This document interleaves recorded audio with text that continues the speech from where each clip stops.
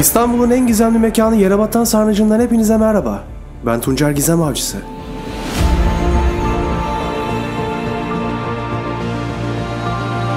Burayı bu kadar gizemli yapan en önemli sebep içinde bulunmuş olan gizli bir mezar.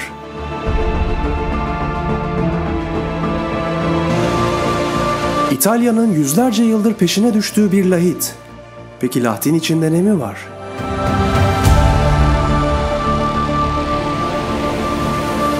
Vücudunun alt kısmı yılan, üst kısmı ise bir kadına ait olan cansız bir beden. Evet yanlış duymadınız. Tıpkı en büyük Anadolu efsanelerinden biri olan Şahmeran'ı hatırlattı size öyle değil mi? İşte sarnıcın içinde bulunan bu ters dönmüş Medusa heykeli ve daha duymanız gereken onlarca akıl almaz detay ile heyecanlı bir video sizleri bekliyor. Hazırsanız başlayalım.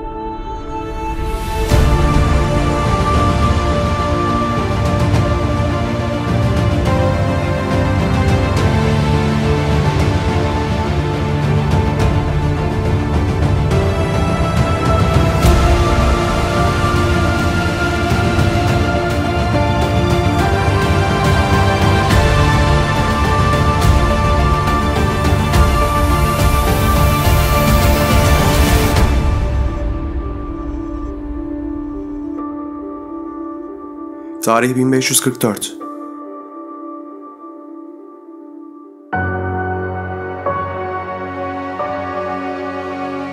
Bizans kalıntılarını araştırmak amacıyla Hollandalı bir gezgin İstanbul'a geldiğinde büyük bir keşif yapacağından haberi yoktu. Bir gün Ayasofya civarında gezinirken bazı evlerde ilginç bir manzara ile karşılaştı. Buradaki evlerin içinde kuyuya benzeyen yuvarlak delikler vardı ve ev halkı bu deliklerden aşağıya kova sarkıtıp su çekiyordu. Hollandalı gezgin bu gördükleri karşısında çok şaşırmıştı. Durumu incelemeye devam ettikçe daha da hayret ederek bazılarının ise evlerinin zemininde bulunan bu deliklerden balık bile tuttuğuna tanıklık etti.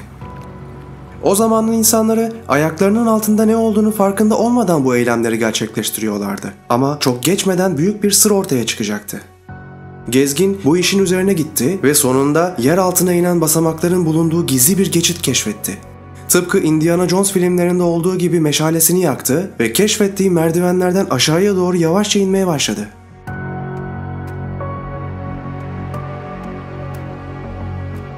Karşısındaki manzara olağanüstüydü.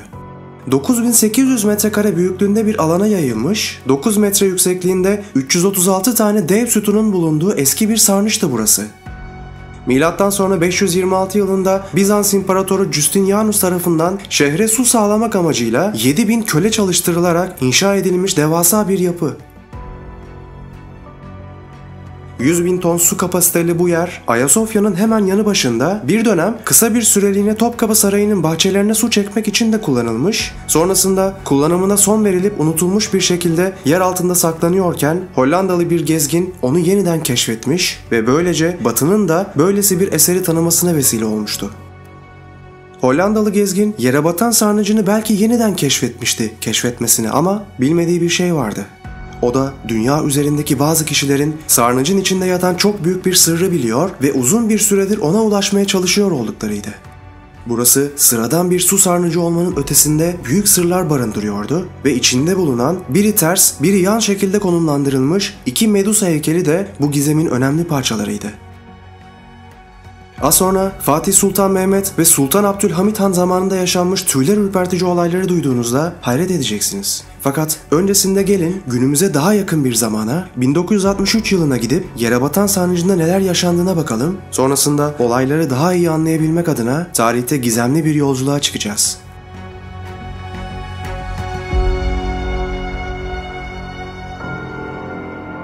Tarih 1963. Yer İstanbul Yerebatan Sarnıcı.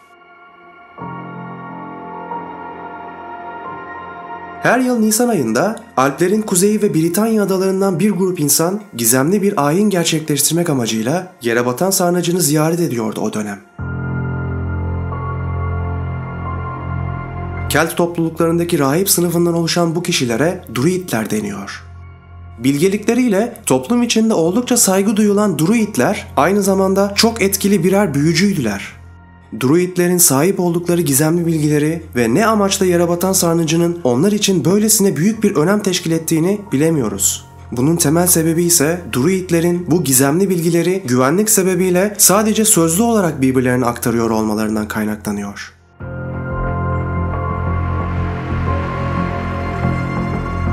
Bu bilgiler yalnızca ana hatlarıyla belgelenmiş durumda. Günümüzde ökse otu, eski ismiyle altın dal olan bitki, druidlerin törenlerinde kullandıkları ana malzemeydi. Yere batan sarnıcına yanlarında getirdikleri ökse otlarıyla gelen druidler burada kimsenin haberi olmadan gizli törenler gerçekleştirirdi.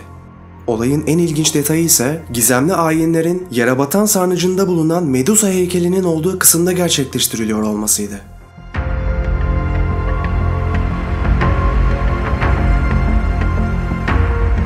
90'lı yıllara kadar Medusa başının bulunduğu bu alan yere batan sarnıcını ziyaret eden halk tarafından görünmüyordu. Bu kısım dışarıdan görülemeyen gizli bir bölümde yer alıyordu. Yani aslında yakın bir zamana kadar yere batan sarnıcının ufak bir kısmını görebiliyorduk. Ters dönmüş Medusa başının bulunduğu alan Druidler için son derece önemliydi.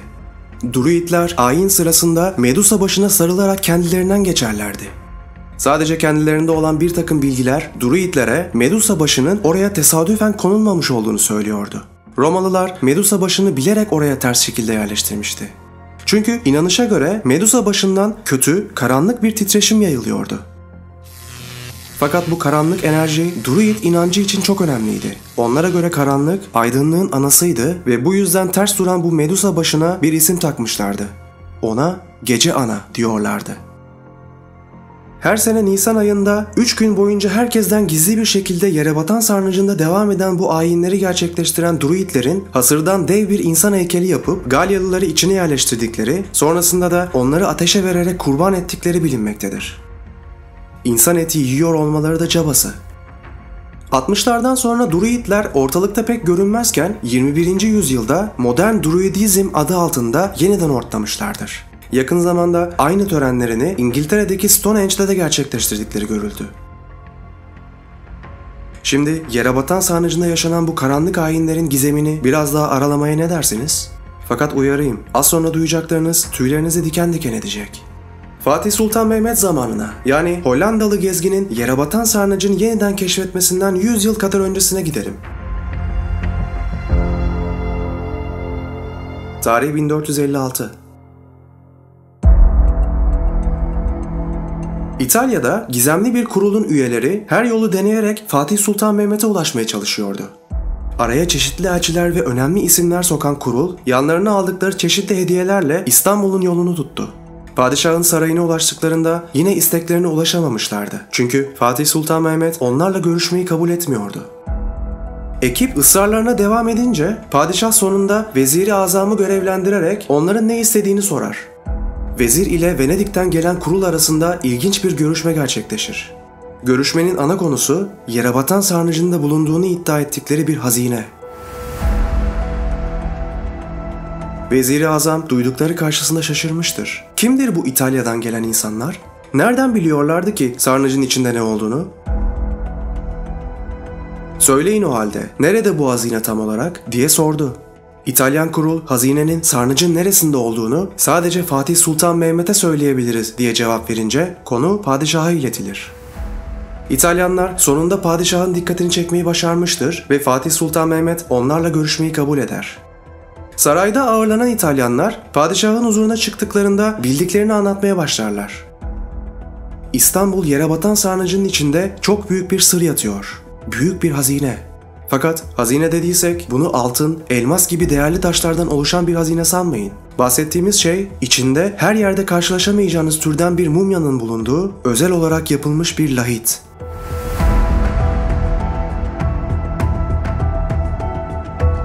Bunu duyan padişah şaşırmıştı. Ne tür bir mumyadan bahsediyordu ki bu adamlar böyle ve nasıl oluyor da onlar bunu bilebiliyordu? Ardından Venedik'ten gelen adamlar sözlerine devam etti. Yere batan sarnıcında gizlenen bu Latin içinde yatan beden efsanevi Medusa'ya ait. Evet, efsanelerde anlatılan ve gözlerinin içine bakanları taşa çevirmesiyle bilinen şu meşhur yılan saçlı kadın. Görünüşe göre Fatih Sultan Mehmet bu duyduklarını ciddiye almamış ve kim oldukları belli olmayan bu İtalyanları geldikleri gibi geri göndermiş olacak ki uzunca bir süre yere batan sarnıcında olduğu iddia edilmiş olan bu gizemli lahit mevzusu unutulup gitmiş. Ta ki aradan yüzlerce yıl geçer ve gizemli, sırlı olaylara karşı ilgisi olduğu bilinen Sultan Abdülhamit Han, İtalyan kurul ve Fatih Sultan Mehmet arasında gerçekleşmiş bu görüşmenin bilgisine ulaşana kadar. Sarnıcın içindeki bu lahit iddiası onu bir hayli heyecanlandırmıştır ve onca işinin arasında kafayı bu lahti ortaya çıkarmaya takmıştır.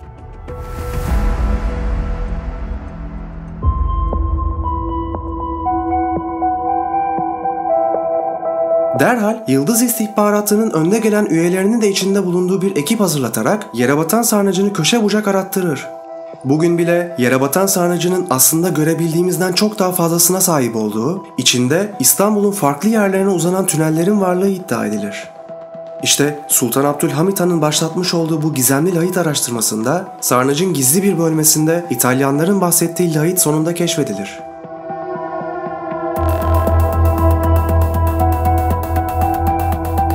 Türkiye'de ilk defa araştırmacı yazar Oktan Keleş'in gündeme getirmiş olduğu bu çarpıcı araştırmanın detaylarına Sırdaş isimli kitabında ulaşabilirsiniz. Fakat biz yine de Latin ortaya çıkışından sonra neler yaşanmış gelin kısaca bir bakalım.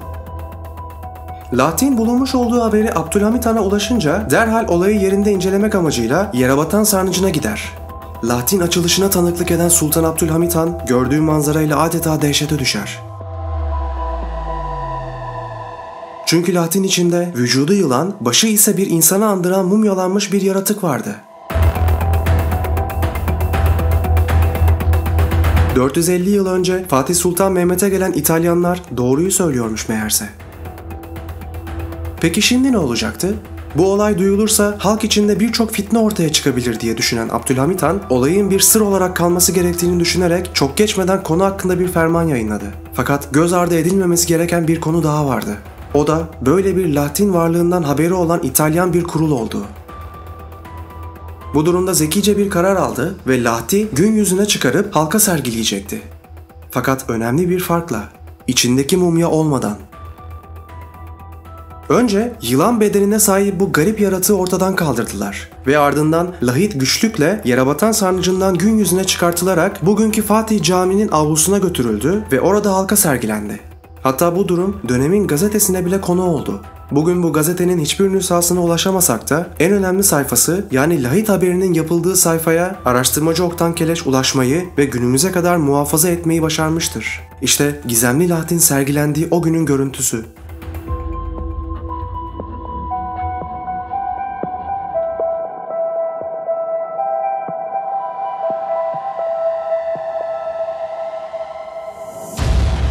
Gizemli lahit daha sonra arkamda bulunan Molla Fenari Camii'nin hemen yanında bulunan bu mezarlığa getirildi.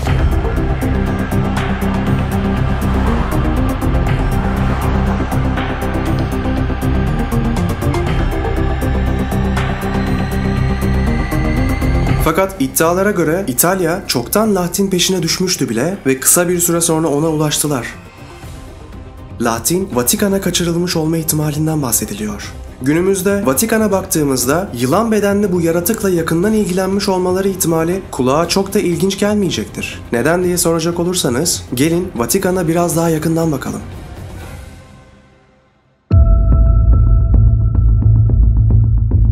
Burası Papa'nın bazı halka açık etkinlikler ve törenler için kullandığı özel olarak inşa edilmiş bir bina. Dikkatli bir şekilde baktığınızda göreceğiniz ilk şey onun bir yılan başını andırdığı olacaktır.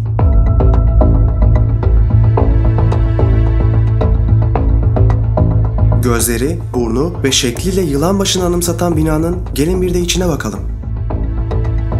Burada da yılanın gözlerini, derisini, dişlerini hatta dilini bile görebiliyorsunuz.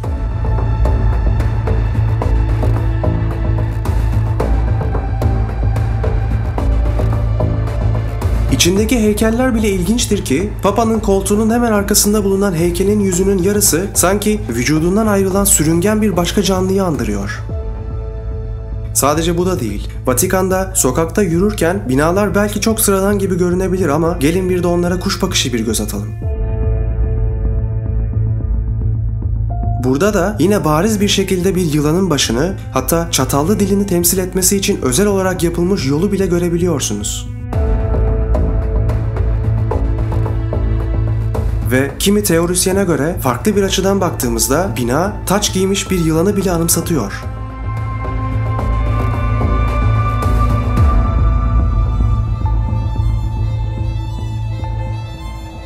Anlayacağınız yüzlerce yıl öncesinden beridir devam eden ilginç bazı olaylar günümüzde hala kendini gösteriyor gibi duruyor. Osmanlı'dan Vatikan'a uzanan içinde sürüngenlerin yer aldığı bu olaylar hakkındaki düşüncelerinizi merak ediyorum. Yarı insan, yarı yılan Şahmeran'dan Medusa'ya ve daha pek çok efsaneye ev sahipliği yapan ülkemiz toprakları her dönemde dünyanın dikkatini çekmeye devam edecek. Bize düşen görev ise tarihi değerlerimize sahip çıkıp onlara gereken değeri vermemiz. Yerebatan Sarnıcı'nı ziyaret etmenizi öneririm. Önceden görmüş olanlarınız varsa bile yakın zamanda yapılan restorasyonlar orayı yeniden görülmeye değer kılmış durumda.